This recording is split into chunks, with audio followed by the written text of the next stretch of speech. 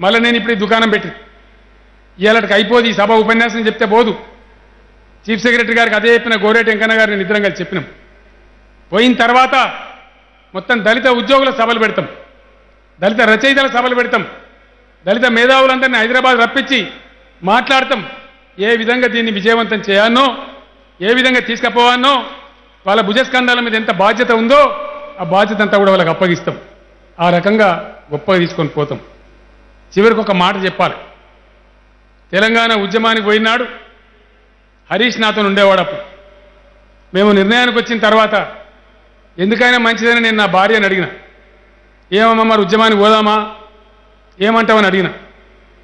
మనం పిల్లల గురించి ఇప్పుడు చేసేది ఏం లేదు. నువ్వు నేను తినేదంతా పావుసేరు బియ్యం కొట్లాడు మంచిదే అని చెప్పింది. న్యాయం ఉంది కాబట్టి కొట్లాడమన్నది. మొన్న కూడా అడిగిన దళిత బంధు ఉద్యమాన్ని చేపడుతున్నాం నువ్వేమంటావమ్మా అని అడిగితే వాళ్ళకి నిజంగానే వాళ్ళ పరిస్థితి అన్యాయంగా ఉంది. నువ్వు మొండి పట్టు పడతావు కదా ఏదైనా పడితే చెయ్యి తప్పకుండా చెయ్యి నువ్వు గెలుస్తావు పో అని చెప్పి నాకు ఆమె కూడా ఆశీర్వచనం ఇచ్చింది. అంటే ఏ విధంగా చూసినా ఇప్పటిదాకా నా జీవితంలో నేను చేపట్టింది ఏది కూడా వెనుకకు పోలే. ముందరికే పోయిన తప్ప వెనుకకు పోలే.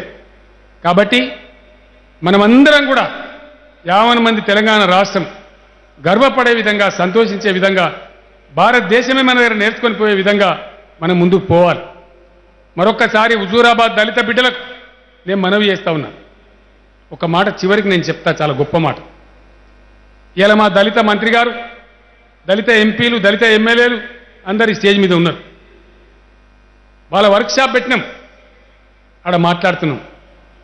నేను చెప్పిన ఇంత గొప్ప పని మనం చేయాలంటే మనకు కావాల్సింది అద్భుతమైనటువంటి ఓపిక అద్భుతమైనటువంటి సహనశీలత ఓర్పు నేర్పు మనకు చాలా అవసరమని చెప్పిన. అదే పద్ధతులలో హుజూరాబాద్లో కానీ ఇంకో బాధలో కానీ పక్క హుస్నాబాద్లో కానీ మొత్తం నూట పంతొమ్మిది నియోజకవర్గాలలో ఈ స్కీమ్ ఇంప్లిమెంట్ కావాలి. మీ హుజూరాబాద్లో వచ్చేటువంటి అనుభవాలతోని స్కీమ్ ఇంకింత బలోపేతం చేసి మొత్తం రాష్ట్రం అంతా అమలు చేయడం జరుగుతుంది. ఈ స్కీమ్ అమల్లో జిల్లా కలెక్టర్లు ప్రధాన బాధ్యత పోషిస్తారు. జిల్లా మంత్రులు అనునిత్యం పర్యవేక్షణ చేస్తారు. మీ ఎమ్మెల్యేలు మీ దగ్గర ఉండే స్థానిక సంస్థల ప్రజాప్రతినిధులు అందరూ కూడా వాచ్ డాగ్స్ లాగా బ్రహ్మాండంగా పని కూడా చేస్తారు. ఆ రకంగా మనందరం ముందుకు పోవాలి. అదేవిధంగా విజయం సాధించాలి. సాధించుదామా? ఒకసారి సాధించుదామంటే వాళ్ళు పిడికి ఎత్తాలి. సాధించుదామా? వినబడతలేదు. అక్క మీ